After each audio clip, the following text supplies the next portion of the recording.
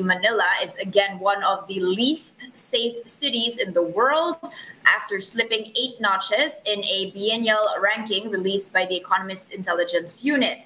The Philippine capital ranked 51st out of 60 cities in the 2021 Safe Cities Index, that's down from 43rd place in 2019.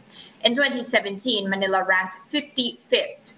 Now, the index ranks cities according to five security factors digital, health, infrastructure, personal, and environmental.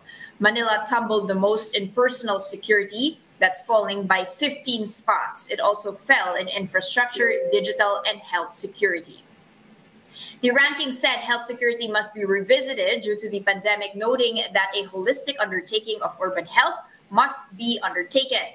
Copenhagen in Denmark is this year's safest city in the world, followed by Toronto, Singapore, Sydney, and Tokyo. In Southeast Asia, Bangkok, Ho Chi Minh, and Jakarta also fared better than Manila.